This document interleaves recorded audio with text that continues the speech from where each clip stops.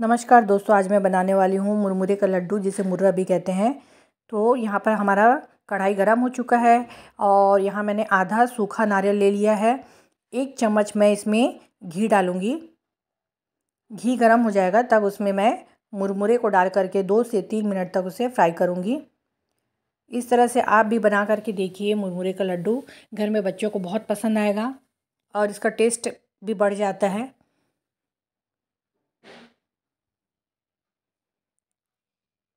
मुरमुरा हमारा फ्राई हो चुका है। अब मैं इसमें जो नारियल घिसा हुआ था ना, सूखा नारियल, उसे भी मैं डाल करके एक से दो मिनट तक उसे सीम आँच में फ्राई कर लूँगी। हल्का ब्राउन होने तक। ये देखिए ब्राउन हो चुका है, अब इसे भी हम निकाल लेंगे।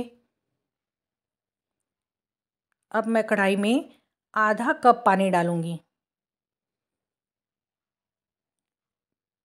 पाँच कप मेरा मुरमुरा था तो मैं इसमें मैं डेढ़ कप अगर इस गुड़ को घिसने जाएँगे तो एक डेढ़ कप होता है, वन एंड हाफ़। तो ये मैंने इस साइज़ के चार गुड़ ले लिए हैं। इसे हम शीरा बनाएँगे। देखिए, कई कई गुड़ों में थोड़ा गंदा रहता है ना तो जब अच्छे से जब पिघल जाएगा गुड़ ना तो उसे मैं छलनी से छान लूँगी। मैं इस तरह से हर समय छान करके बनाती हूँ। फिर उसके बाद मैंने कढ़ाई को पानी से एक बार धो लिया था और उस शीरा को मैं डाल करके दोबारा इसे मैं पकाऊँगी।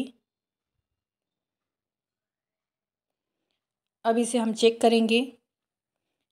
बाउल में मैंने पानी ले लिया है। उसमें मैंने कुछ बूंदे डाले थे शीरा का। तो देखिए ये पानी में ही देखिए गिरते जा रहा है ये। इसका मतलब हमें थोड़ा समय और लगेगा।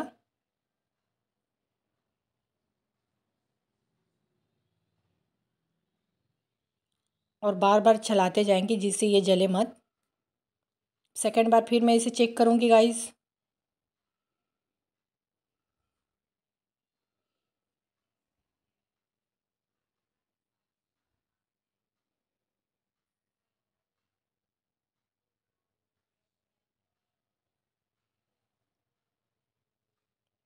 देखिए, शीरा, ये गोला हो रहा है, देखिए। थोड़ा सा और मैं एक मिनट के लिए और पकाऊँगी उसे। गोला हो चुका है, देखिए शीरा। थोड़ा सा और पकाऊँगी।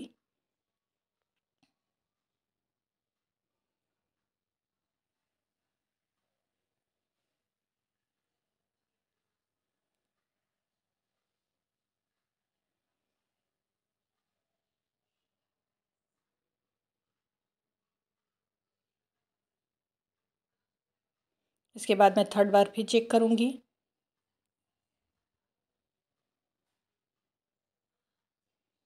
ये देखिए, आसानी से ये शीरा का गोला बन चुका है। अब हमारा लड्डू भी बहुत अच्छा बनेगा। आसानी से देखिए फोल्ड भी हो जा रहा है।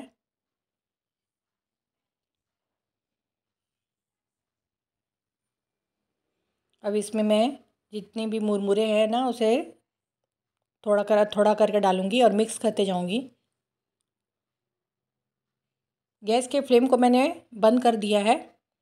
अब पूरा मुरमुरा डालने के बाद मैंने जो यहाँ पर ड्राई रोस्ट किया था ना कोकोनट को, सूखा नारियल को, हम उसे मिक्स कर देंगे। अच्छी तरह से मिक्स करने के बाद इसके हम लड्डू बनाएँगे। अच्छे से मिक्स हो जाएगा गाइस उसके बाद मैं हाथों में थोड़ा सा पानी ले लूँगी।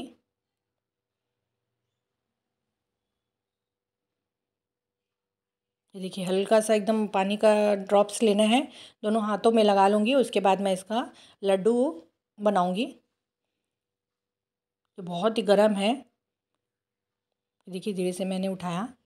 इसका हम शेप देंगे लड्डू का। लड्डू का शेप देंगे। अच्छे से दबा दबा करके इसे हम इस तरह से हम सभी लड्डू को बनाएँगे और बीच बीच में जैसे हाथ चिपकता है ना तो उस समय हल्का सा एक ड्रॉप्स हाथों में पानी डाल करके फिर हम उसके लड्डू बनाएँगे। बहुत ही टेस्टी लगता है गाइस। और एकदम क्रिस्पी भी बनता है इस तरह का लड्डू बनाने से। तो आप एक बार ट्राई करके ज़रूर देखिए देखिए मैंने बीच में फिर से हल्का एक ड्रॉप्स लेकर के दोनों हाथों में लगा लिया था, जिससे हमारा हाथ में क्या होगा, चिपकेगा नहीं और आसानी से इसके लड्डू बन जाएँगे। अच्छे से दबा दबा के हम इसके लड्डू बना लेंगे। लड्डू हमारा क्रिस्पी होगा।